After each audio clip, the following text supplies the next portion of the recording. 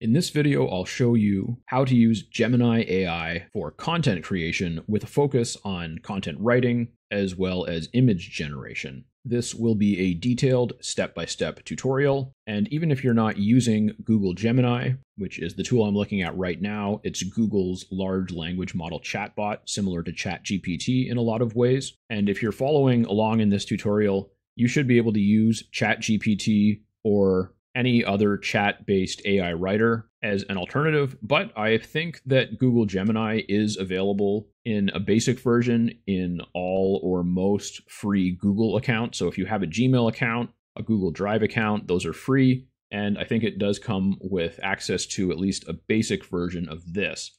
I am using the premium version, but it's not their most advanced version because my Google Workspace account is not really high tier. So if you and whether you have access to the free version of Gemini or the free version of ChatGPT or the free version of a different AI writer, you should be able to follow along and use this exact same method. And most of the prompts that we're going to use today are going to come from my AI marketing prompts list, which I'm looking at right here. This is a Google Sheet that contains all of my favorite, most used writing and marketing prompts. And you can get access to this for free by following the link in the description. There'll be a landing page, and there you can sign up for my email list. And once you're on my email list, I'll automatically send you access to this list. And over on the left, we've got the names of the prompts, and a lot of them have links to tutorials just like this one. So if you want to be able to copy my prompts and create your own versions of them really easily,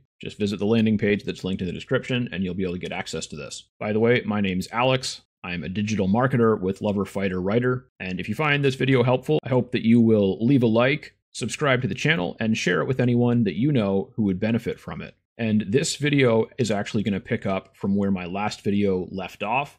In my last video, I showed how to create what's called a custom gem, which is just a version of Google Gemini that has custom instructions so that it writes in a different style and from a different perspective than it otherwise would. And so if you want to learn how to create a custom gem, which would be very similar to creating a custom GPT, I will link to that video in the description as well. And in the last video, I created a custom gem for a brand that I'm developing. And then I tested it out and kind of fine tuned it with a few of my prompts. The first prompt that I used was write a list of entertaining aspects and a list of educational foundations related to combat sports, fitness, and weight loss. And just to show you how this prompt works, this is actually the second prompt on the list. I call it edutainment. And you can see it's write a list of entertaining aspects and a list of educational foundations related to content topic. So where I said combat sports, fitness, and weight loss,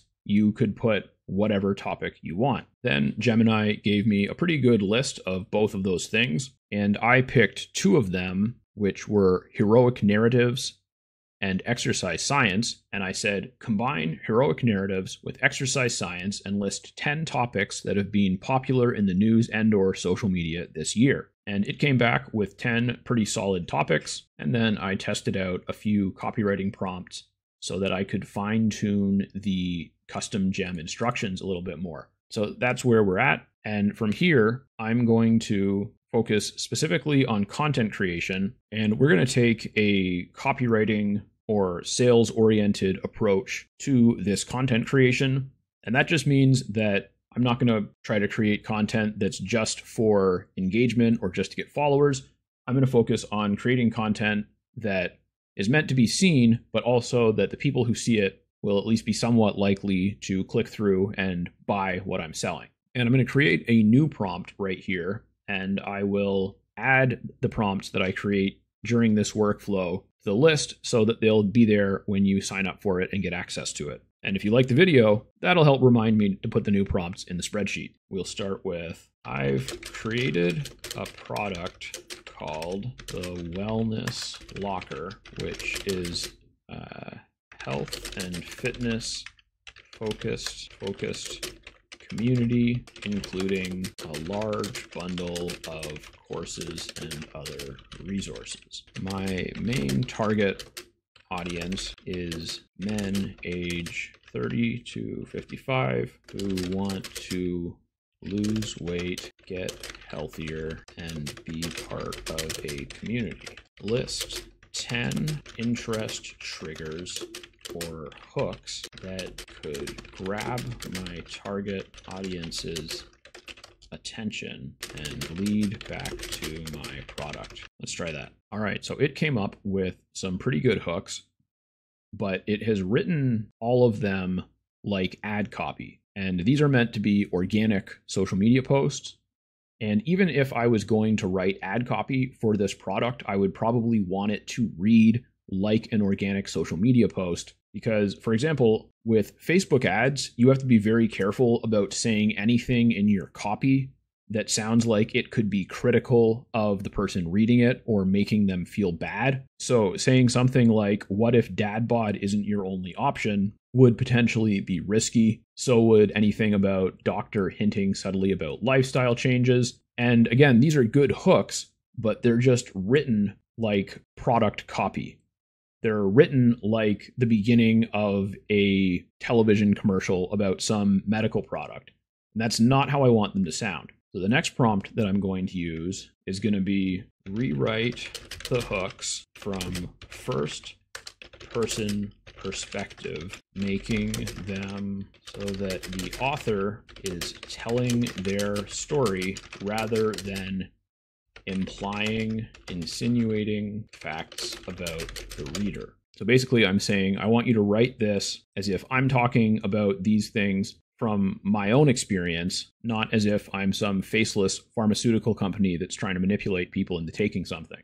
And because I actually went through the process of gaining a lot of weight and then losing a lot of the weight, I've lost almost all of it at this point. I've actually gone through all of these things. So these are all hooks that I can use in real social media posts telling my real story. But I want to do it in a way that is engaging and provoking discussion, not in a way that is trying to make the reader feel uncomfortable so that they might buy my product. All right, it's done a decent job of this, but some of them are still phrased a little bit awkwardly. So we're going to workshop this a little bit more. And now I'm going to use a variation of one of my prompts in this spreadsheet. So this is the headline optimization prompt. So I'm just going to click in this cell and hit Control C and then come back to Gemini and paste it in here. But I'm going to modify it.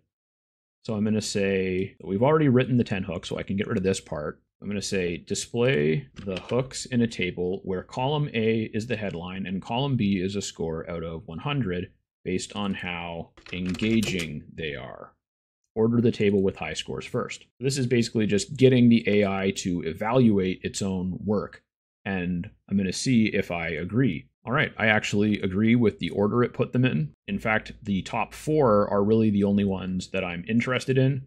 I can use some of the ideas from these ones, but I don't like them very much the way they are. And this one is actually my favorite in terms of the story it's telling because this is a very relatable experience for me. Like I said, I gained 80 pounds a few years ago but I don't really like the way it's phrased or the way it's framed. For one thing, some people don't know that gassed means running out of energy or running out of oxygen. That's kind of an athlete specific thing. And I would like a much more emotionally evocative way of saying this instead of just, I used to get. So I'm going to say, write five better versions of, paste this here, use a different powerful emotional trigger at the beginning of each at the beginning of each and avoid using jargon such as gassed which some people may not understand. We'll see how it does with this and i think the fourth one is the best but i still want to rewrite it a little bit so we'll say continue writing the following post for a Facebook group. I've never felt weaker than when I couldn't walk up a flight of stairs without losing my breath after gaining 80 pounds. All right, I really like this. I would probably edit it a little bit before publishing it, but I think it's solid and it included like this call to action section at the bottom. I don't really know why it did that, but I could just tell it not to do that in the future. And basically, if I wanted to create a week or a month's worth of content for this brand promoting this product, I would just go back to these suggestions and I could get it to generate more suggestions. I can get it to improve the hooks. I can get it to come at them from different angles.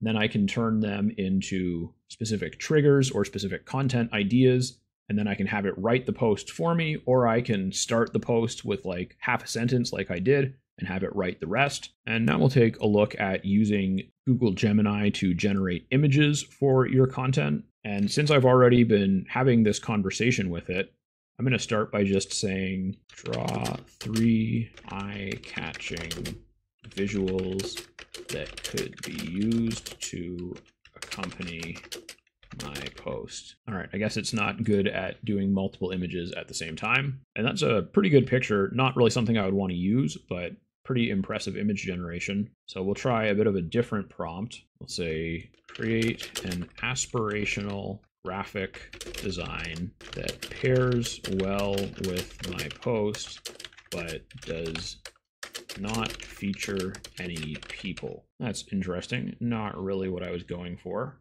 We'll try editing this. We'll try saying create an aspirational graphic design that represents my weight loss journey, but does not feature people. That's kind of disturbing, actually. All right, I should.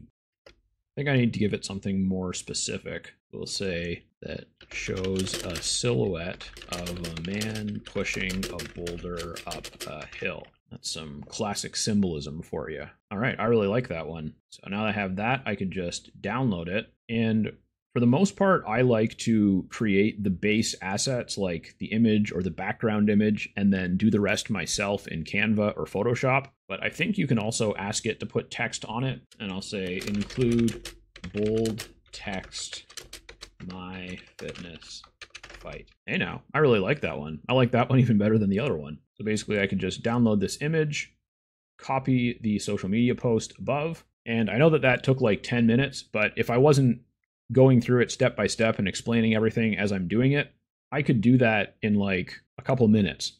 So I could literally create a week's worth of content in 10, 15 minutes. And I can and do create a month's worth of content very quickly when I need to. Let me know in the comments if you have any questions. Also, you can request a prompt or a tutorial if you'd like me to add something specific to my marketing prompts list. Remember to visit the landing page in the description so you can get access to this spreadsheet. And also in the description, I'll have links to other tutorials that you might find helpful. Please do remember to like, share, and subscribe. It really helps the channel grow so that I can reach more people. I appreciate that, and I'll talk to you in the next video.